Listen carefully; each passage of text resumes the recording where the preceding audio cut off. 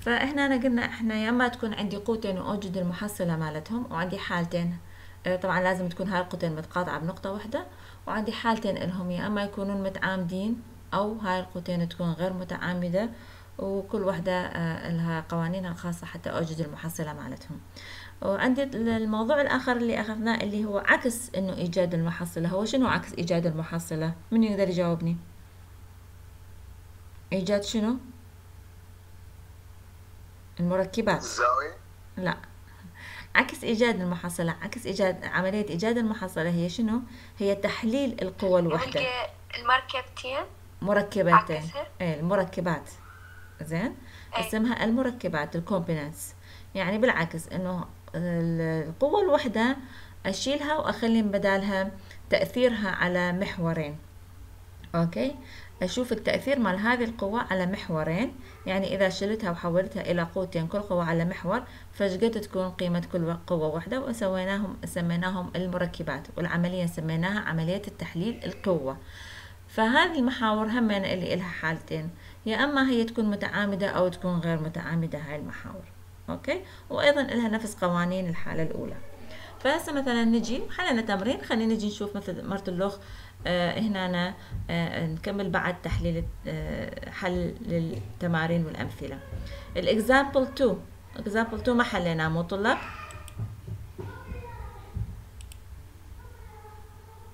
ويايا؟ example 2 إي نعم ما حلينا. تمام. ف example 2 أجي أني عندي هنا أنا أشوف شيء دا يريد يشوف.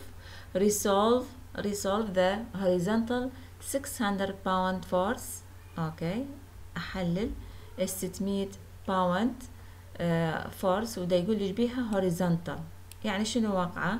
ويا الأفق يعني على الاكس اكسس into components يعني شنو أحولها إلى مركبتين. Acting along the u and v axis. هنا أنا راح أحولها إلى مركبتين لكن المركبتين وين صايرة؟ واحدة على ال u axis والأخرى على ال v axis. And determine the magnitude of these components. طبعا لازم أوجد قيمها. قلنا إحنا كل قوة لازم أوجد لها ال magnitude أوجد لها ال direction وأوجد لها ال sense. طبعا ال direction هنا أنا معلوم إنه هاي المركبتين لو إنه واحدة راح تكون على ال v وواحدة على ال u. باقي أوجد ال magnitude إلها وأوجد بعدين ال sense إلها. فايش راح أجي أشوف خل أكبر المثال وأشوف شلون راح أقدر أتعامل ويا هيجي سؤال. طبعا من يجيني هيجي سؤال إيش راح أسوي؟ أنا ما أرسمه كليته مثل ما قلت لكم الرسم كلش مهم هنا بالستاتيك إيش راح أرسم؟ أرسم المحاور يعني اللي شيء اللي يهمني اللي هو شنو هو؟ المحاور.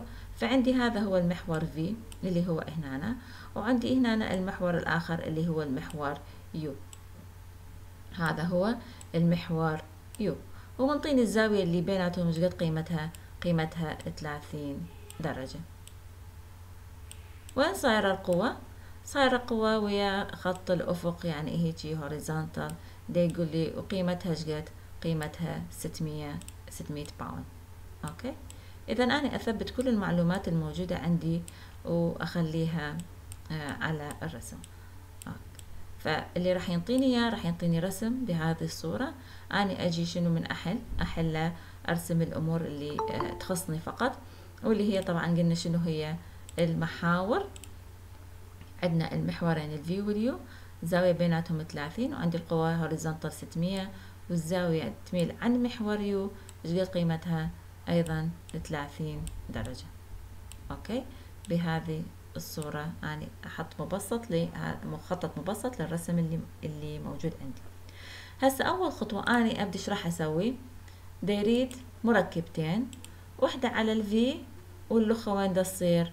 على ال u هاي المحاور بيها؟ متعامدة؟ ما متعامدة مو؟ طبعا ما متعامدة هاي المحاور. فهذه الخطوة. هسه آه أنا شنو عندي؟ أما أكمل مستطيل أو متوازي مستطيلات. مو صحيح؟ قلنا هيك نسوي من نبدي نرسم. زين. منين راح أبدي أكمله؟ من؟ من هنا من نهاية القوة. من نهاية القوة إيش راح أرسم؟ منو يقدر يقول لي؟ يلا طلاب. راح أكمل متوازي مستطيلات شلون أكمله؟ هذه نقطة الالتقاء وهاي القوة. وين أكمله؟ من نهايته ارسم محاور. اي آه موازية للمحاور اللي عندي. تمام. عافية عليك. أرسم محاور موازية للمحاور اللي عندي. من وين راح أرسمها؟ من نهاية القوة يعني من الرأس. مو صحيح؟ زين. من أنا راح أرسم موازي لليو ارسمه لي فوق لو ارسمه لي جوا. طلاب لي من جوا لي. فوق. يعني ارسمه لي جوا. لو من هنا لهنا أنا ارسمه لي فوق. وين؟ ارسمه لي فوق هذا هيجي. لو ارسمه هيجي. يا هي هذا أول واحد. لو ثاني واحد. يا هو الصحيح. ال- الثاني. الفوق هو الصح. الفوق هو الصح. الثاني؟ ثاني. واحد. ثاني واحد. تمام. الصحيح هو الثاني واحد. ليش الثاني واحد؟ لأنه أني أريد أكمل متوازي المستطيلات فايش راح أسوي؟ من نهاية هذا أرسم يعني هذا حيكون واحد من الأضلاع. فمن نهايته أرسم الضلع الآخر فأرسم موازي لليو يعني أني من نهايته إذا أرسم موازي لل u لازم أرسمه باتجاه يروح يقطع لي ال v مو أروح للأعلى. شو أسوي بالأعلى؟ ما عندي v بالأعلى أني أني ال v مالتي للأسفل. فإذا رسمت موازي لل u فلازم أرسمه باتجاه بحيث يروح يقطع لي المحور الآخر اللي هو من هو ال v نفس الحالة من هنا راح أرسم موازي لل v أرسمه لي جوا لو أرسمه لي فوق. لا لي فوق. لي فوق. لأنه لي فوق هو اللي راح يروح ويقطع لي المحور y. Okay؟ بهذا الشكل. إذا هسه كملت متوازي المستطيلات. هذا هو متوازي المستطيلات. فأجي هسه ورا ما كملت إيش راح أسوي؟ أجي أشوف عندي هذا المثلث. وين راح تكون المركبات؟ المركبات واحدة حتكون هذا الضلع اللي هو هنا على هذا الضلع المركبة على ال u.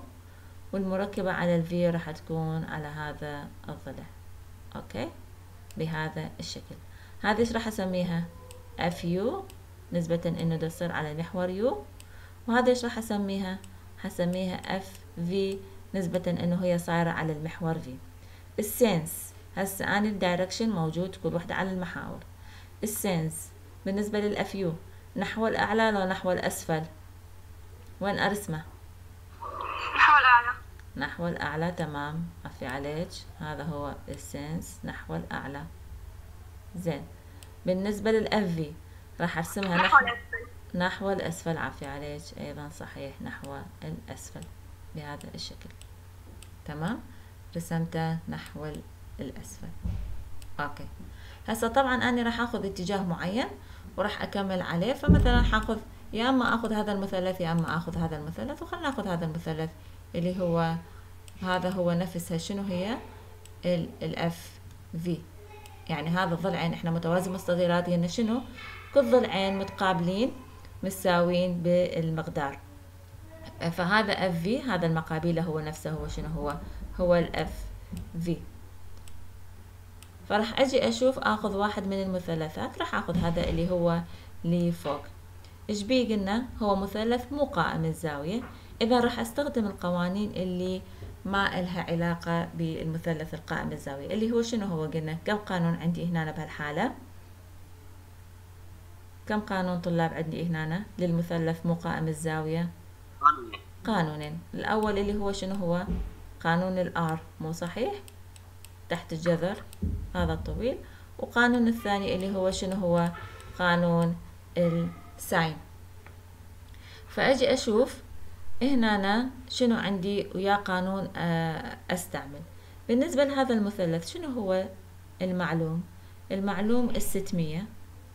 الضلعين الآخرة المركبات هي مجهولة. تمام؟ بعد هذه الزاوية معلومة. إذا أنا عندي ستمية وعندي زاوية واحدة معلومة. عندي مجهولين. شلون راح أقدر هسه أوجد المركبات؟ است... أقدر أستخدم قانون الآر يفيدني؟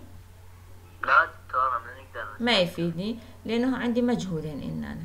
إذا اعتمدت R هو ال... الوتر فال F v وال F u مجهولين ما أقدر أحل المعادلة إذا راح أرجع أعتمد شنو هو